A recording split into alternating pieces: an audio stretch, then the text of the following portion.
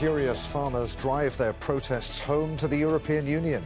And more demonstrations are planned in their revolt against high costs, EU climate change policies, food imports, and support for Ukraine. So, what political impact could their action have? This is Inside Story.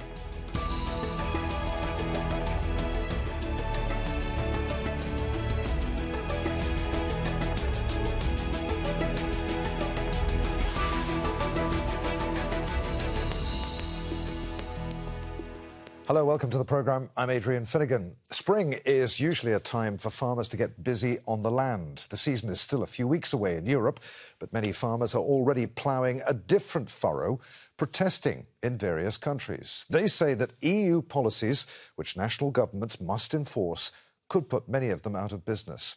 EU directives on climate change, granting Ukraine access to EU markets, rising fuel costs, and deals allowing more imports of food from outside the EU are all being blamed. So, is European farming really under threat? Or is this just grandstanding from a well organised lobby group? What are the political implications for the EU if the protests continue? And what impact could they have on the EU's climate change plans? We'll be asking our guests these questions and more in a few moments after a report from Paul Ging on why farmers are on the streets. Farmers across Europe have been taking to the streets, leaving their farms for cities to bring their anger to the doorsteps of national governments and the EU. They're furious about EU policies adopted by their own governments. They also fear new environmentally friendly green policies to cut greenhouse gases, as well as the knock on effects of the Ukraine war and EU food imports threatening their livelihoods and their very existence in farming. Today we are here because we want to take care of the soil and the animals. Stop all these documents that are coming from the United, uh, the, the Europe, because we don't want to lose our time to make more papers. Just we are farmers. We are. Uh, the people that uh, take care of the soil, take care of the animals, take care of your health, your food. The protests already seem to be bringing political concessions. European Commission President Ursula von der Leyen has scrapped plans to halve pesticide use, which would have cost farmers more but have benefited the environment. Farmers' support is important for her centre right European People's Party in the European Parliament. Should farmers support other parties in elections this June, it could damage von der Leyen's hopes to win a second term. A green strategy was an important part of von der Leyen's platform when elected in 2019. But the reaction from farmers, heightened by higher inflation and energy prices, has complicated the maths for her presumed re election strategy. Russia's war in Ukraine has also hit agriculture hard. Fuel prices have risen sharply, and farmers fear a flood of cheaper grain and other produce from Ukraine after special access to EU markets was given to the Ukrainians following Russia's invasion. Added to that, governments have been trying to reduce supermarket prices as inflation continues to damage European economies. In Strasbourg, while the Climate Commissioner pushed his case for a 90% reduction in emissions, farmers outside the European Parliament were keen to explain that the burdens they're facing are already intolerable. We're here to meet the MEPs to tell them that the current agricultural policy can no longer work because of the distortions of competition, and then products are being imported into Europe which have even less regard for our production conditions and constraints.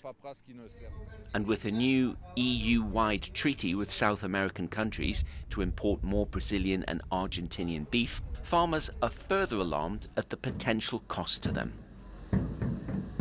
Paul Ging, Al Jazeera, for Inside Story.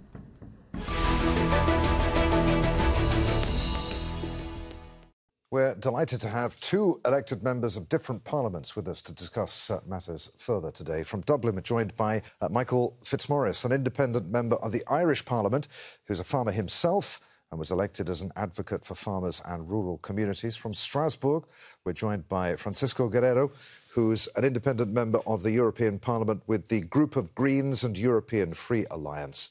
And in Brussels, we have Pieter Cleppe, who's uh, a European policy analyst and editor in chief of the news website brusselsreport.eu, which covers the Eurozone. Gentlemen, welcome to you all. Michael, let's start with you. Give us a sense of just how difficult it is to be a European farmer right now. They get a cut of a huge subsidy, roughly a third of the EU's budget. Are, are things really that, that bad for them? Well, first of all, in relation to the subsidies, um, and welcome to all your guests. Um, in relation to the subsidies, um, it's called CAP. Um, ironically enough, as when CAP was brought in, it was to make sure that people living in cities or people with a lesser income were able to afford uh, food, and rightly so. And everybody agreed with this.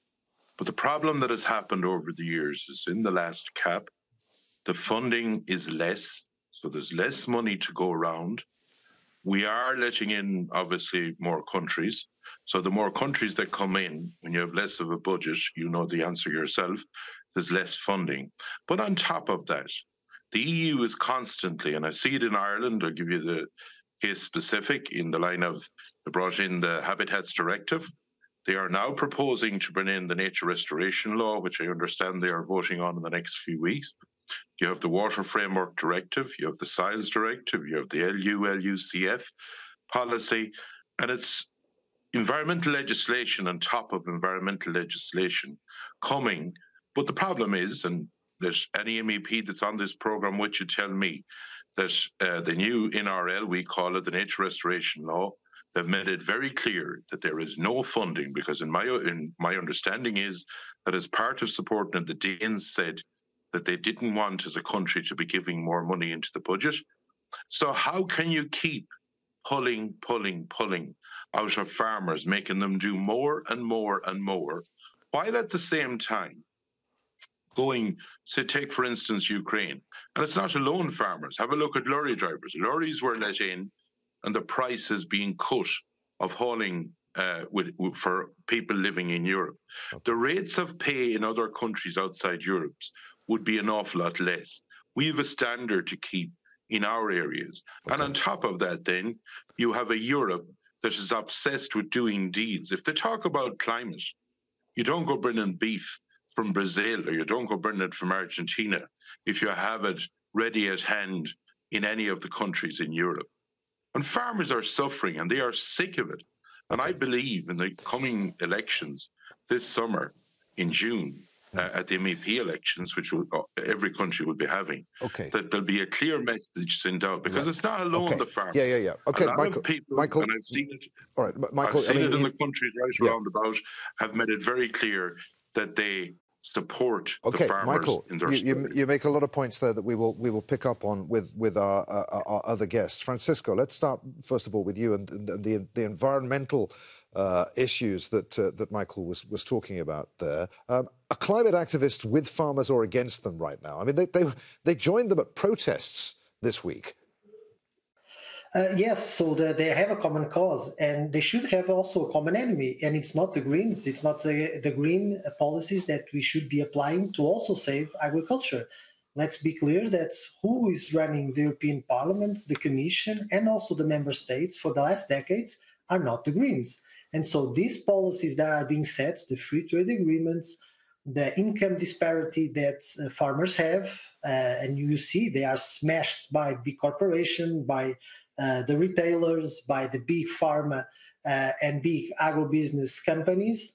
These policies were not promoted by the Greens. Um, we were alerting for this for almost four decades. Even from 1980, we are already stating the obvious that this common agriculture policy, the fisheries policy, these uh, free trade agreements will end up uh, smashing farmers. So uh, again, they have a, a really uh, important mission.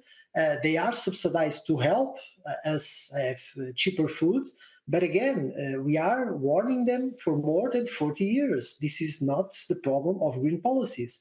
The problem is that the European Union with these three big groups, the liberals, the social democrats, and the socialists, continue to smash uh, farmers. And in the end, uh, they don't promote a different type of production. In the beginning of the, uh, the, this mandate on uh, 2019, we had the opportunity to change the common agriculture policy, to have more funds, and to help farmers produce better with more help, for example, on eco schemes, that they would have more support to change their productions. These eco schemes are just a small percentage of the common agriculture policy, and we are talking about 360 billion euros um, and well, in the end, we voted against the common agriculture policy. We vote against the free trade agreements, and the other groups supported the common agriculture policy and are now pushing for the free trade agreement with the Mercosur. So again, we do okay. sympathize. We we are, the, I think, the best uh, allies of farmers, but don't put the blame on us. We are not uh, to be to be um, to be guilty of, of these policies of the last 40 years. Pieter, what are we to make of uh, the European Commission's scrapping of its plan to halve pesticide use and the watering down of other uh, planned rules?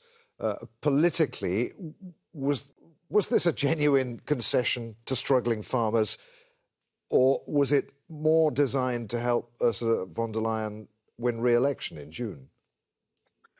Well, these are very modest um, concessions. Um, the uh, the pesticides regulation uh, already faced a lot of opposition in the European Parliament anyway, and von der Leyen has said that they still may come up with uh, uh, with something. She also made a, a, minor concession last week to postpone a land use restriction for about one year. Uh, so I think the problem is uh, indeed the, the Greens, the, the Green Party is not in charge, but the Green IDs are very much in charge. Uh, there are a number of green dogmas that, uh, especially the political mainstream, is uh, refusing to give up. Um, and, and that's why you see the same European Commission this week proposing the most uh, radical climate uh, targets ever to reduce CO2 levels uh, by 90% by 2040. Uh, and, and, you wonder how, how is this possible? Are they not reading the news? Uh, I mean, European industry is badly suffering as a result of high energy prices that are the result of uh, green experiments with our um, um, you know energy production um, the the Greens have always wanted to experiment indeed with the structure of farming, and and I think farmers they should abandon the idea that they should get state support. They should understand that if you give if you receive money, that there will always be conditions linked to it. That all kinds of you know policymakers and and uh, and all kinds of uh, action groups will try to to use this um, these subsidies as leverage uh, to try to crack down on, on your business model. I think farmers are perfectly capable to survive in a free market. Uh, and I understand that they're angry about the competition from Latin America and from Ukraine, uh, because not always um, do these uh, importers into Europe have to comply with the same standards. So it's obviously not fair. Uh, but to then try to export uh, our standards to the rest of the world, I mean that's just bizarre. I think our trading partners are saying, "Look, are you are you trying to trade with us, or are you sending a list of um, regulations that you want us to uh, to implement?" So, so genuine trade is is about trusting uh, trusting each other. So I think what we need is we don't need to, of course, abandon all of the standards, animal welfare okay. and stuff, but we need yeah. a rationalization. All right, Francisco, do you want to come in there? No, uh, for me this is bizarre. So, so trusting each other, so we don't have uh, to to to have any regulations. For example, when you talk about pesticides, for example, we we we ban certain pesticides that were proved to be uh, damage for health and for the environment here in the European Union, but we still export them. For example, uh, to South America. So we just wanted to trust uh, the, the other partners, and we just have no traceability on our products. So on one hand you talk about uh, sovereignty food security and on the other hand you are just saying for us to trust on each other. Well this is remarkably for me to, to listen. And I, I also find it weird that you, you are also saying that just the free market should should uh, maintain the agriculture system and they should not receive any support. We do feel otherwise that they should uh, have support also to change to more uh, sustainable practices. And this is a model that clearly understands the impact that we are having on the environment. And for example, in Portugal, in the south of, of, of Portugal, we are talking about water scarcity so, so, so dire that 70, so 70% uh, is uh, is projected to cut on water for agriculture because we don't have water. And the, the, the, the, data on climate is is uh, scary. Okay. Sorry, but all the scientific knowledge okay. is is available, and right. if we don't know nothing, the farmers will be the most uh, um, the most hit by by this climate change. Okay, uh, Michael, I'll get back to you in just a moment, but first let, us give Pieter the right to reply. Then. Well, uh, if the European Union would indeed take a scientific approach, you could make a case. But look at the glyphosate debate. All the experts were saying it was fine, and still uh, there was a massive push uh, to try to ban and uh, and restrict it. And indeed, when, when it comes to support for farmers, I mean, I understand the argument. The idea is, okay, some of them are struggling. Let's give them some cash. But let's look at the reality. 80% of um, you know these uh, these farming subsidies are, are going to the big boys, uh, the big concerns. And that's how it always goes. You know, when you have this uh, central planning system, you always end up with cronyism. And of course, it goes hand in hand with uh, with protectionism, which at the end of the day not only hurts uh, consumers. Uh, but also uh, makes our farming uh, sector uh, less competitive. You know, if we are protectionist, then other trade blocs will always also be, um, you know, protectionist, and a lot of our farmers are actually exporting to the rest of the world. so I think it, it would be very unwise uh, to abandon, uh, you know, the idea that uh, trade is ultimately good for for everybody. Okay, all right. Michael, um, please feel free to come in on, on anything that you've heard in the last few minutes. But I, I wanted to put it to you that, that farmers' um, main concerns vary from, from country to country. They do have grievances that are common to all. What, what is it that farmers want? Well, first of all, they want uh, to be treated fairly. Um, at the moment, the farmers, and I can speak for Ireland, but indeed right around Europe, um, this bashing that they get, you'd swear that they were the only people in the world that was putting basically putting up carbon or putting up methane. Um, you will hear people saying we need to get rid of all these animals. That's crazy stuff. As is being pointed out, um, if you can do something better, you always try and do it better. And a farmer on their land, uh, it costs them if they make mistakes. That's the bottom line. Um, in relation to Francesco, what he said, um, in relation, it's not the Greens. Well, I can tell you in Ireland, we have a Green Minister for Environment, and we have a Green Minister that has gone over to Europe and has taken everything hook, line, and sinker and agreed with it. Um, and, you know, you cannot keep bringing. Ireland is a different country and a different climate to Spain and to, you know, other parts of Europe. And when you do, when you make legislation, legislation can affect some countries worse than the other. Francesco is going to vote for the nature restoration law. The consequences of that in a third of Ireland is that it will put family farms out of production.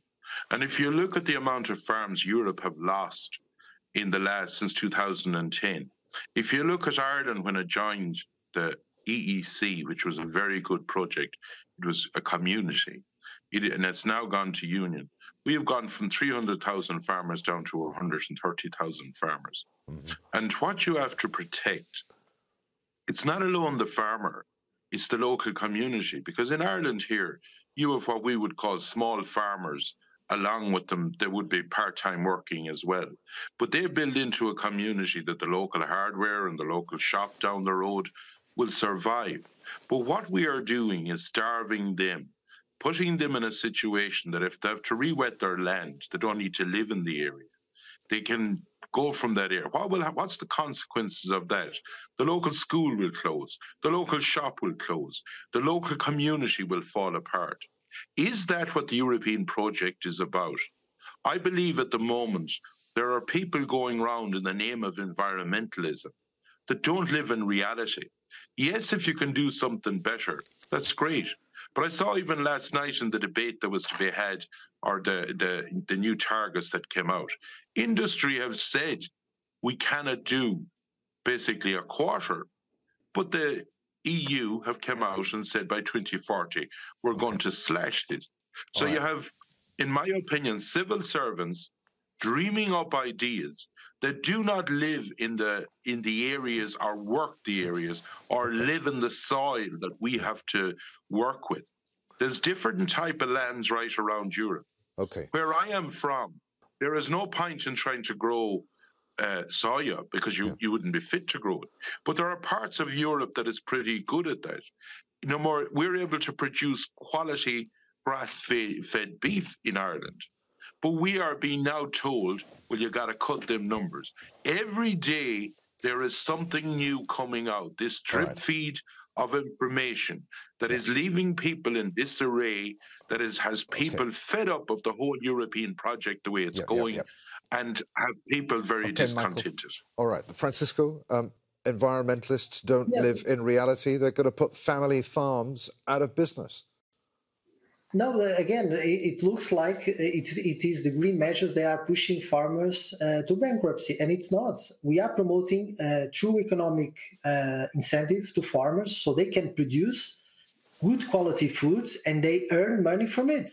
And again, it was stated here that the majority of the CAP money is going to the big pharma and the big uh, industrial agriculture sector. So again, we rejected CAP. Sorry, sorry, we rejected what, the free trade agreement.